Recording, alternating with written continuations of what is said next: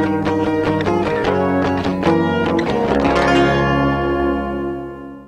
Hi, it's Mr. Andersen, and this is AP Physics Essentials, video 41. It's on Newton's third law, which is sometimes referred to as the law of action and reaction. In other words, when you launch a cannonball out this side of the cannon, you're applying a force to that cannonball, but the cannonball is exerting an opposite and equal force on the cannon. That's going to cause recoil. And that's why these giant ropes are on this cannon, so it doesn't just go shooting off across the deck. And so, according to Newton's third law, if an object exerts a force on another object, then that other object is going to exert an opposite and equal force on the first object. We call these action-reaction pairs. This is the action and this is the reaction. And those action-reaction pairs, remember, will always be uh, equal in magnitude and opposite in their direction.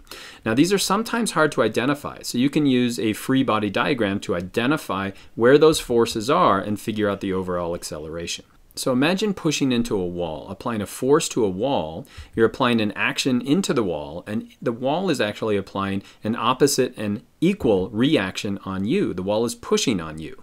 Now you don't go anywhere, and the reason why is you apply a force into the ground in action, and there's a reaction force from the ground pushing back on you. And so the net force on you is the same. You don't accelerate anywhere. Now let's put you in space and do the same scenario, and let's just make, make uh, sure that that wall doesn't move anywhere. So now you apply a force into the wall. It applies an opposite and equal force back on you. And so now, since there's no ground to push against, you're simply going to quickly accelerate and then coast away from the wall. Let's look at another scenario. You're pushing a bowling ball, and we've kind of frozen at the point at which you're going to push the bowling ball. So you apply a force into the bowling ball, and it's going to apply an opposite and equal force back on you. Now, the ball's going to move, but you're not going to move. And the reason why is you're applying a force against the floor, and it's applying a force back on you. So you don't move, but the ball is going to quickly move away like that. Let's do this scenario again in space. What happens? You apply a force into the bowling ball, it applies an opposite and equal force back on you. What's going to happen now? There's no ground. You're both going to accelerate away from each other. Why don't you move as fast as the ball? Because you have a greater mass. Let's look at just walking or running across the floor. You apply a, force into the floor and it applies an opposite and equal force back on you.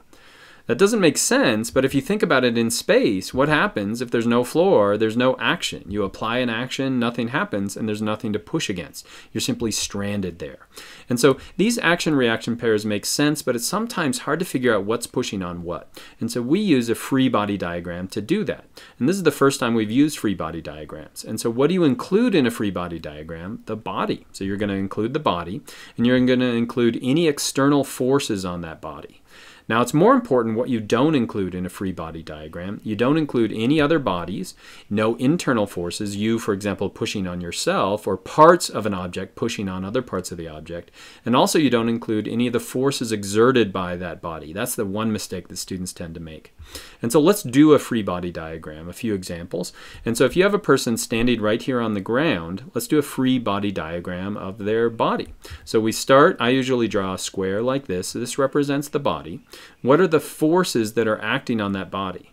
Well, gravity is clearly acting on it in the vertical direction, but the person, since they don't accelerate down into the earth, there must be an opposite and equal reaction. That's the ground pushing back on the person, and we call that the normal force. And so those are going to be the two forces in our free body diagram. Let's change it up. Now we're looking at this person pushing on the wall. So what do we start with? It's always easiest to start with the gravity. So gravity's pushing down. That's an external force. What else do we have? We have that normal force. It's not moving down into the ground. What else do we have? Let's start identifying those action-reaction pairs. So you're pushing against the wall, but that's a force exerted by the body, so we don't include it. We do include the wall pushing back on you, the force of the wall. If we look at the ground, remember, you're applying a force in the ground, but there's a frictional force in the opposite direction. And so there's no net force and no net acceleration. If we put this scenario in space, what do we have?